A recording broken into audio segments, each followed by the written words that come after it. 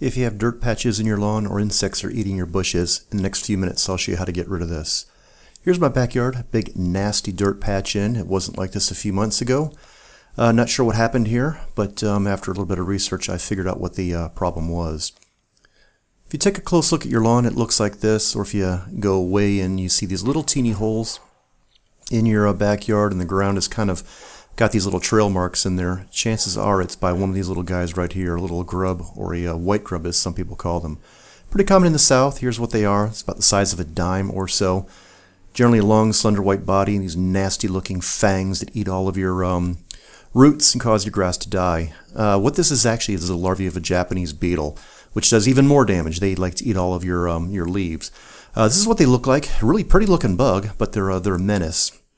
Uh, they say that the uh, the best time to get rid of these things is the um, uh, the fall. That's right about now. So I'm going to give my little guys a Halloween treat. I went to the local hardware store and picked up a um, a bottle of this stuff, a complete insect killer, uh, kills these little grubs. They make this also in a granule type form, which you spread on your lawn like uh, fertilizer. Here's the white grub, and uh, not only did they get the size just right, but the color as well. Good job on the photography there, guys.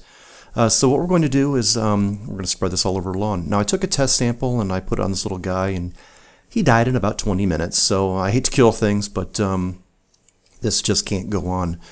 Now the uh, the bottle that I'm using here is good for about 5,000 square feet and uh, my patch is only just a few hundred square feet.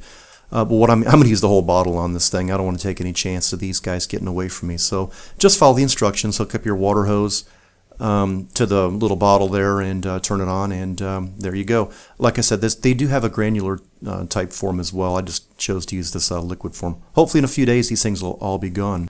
24 hours later, I've got a bunch of dead grubs in my backyard. They're everywhere. There's probably uh, 30 or 40 back here. Hopefully, we got them all. Anyway, that's it, folks. Thanks for watching.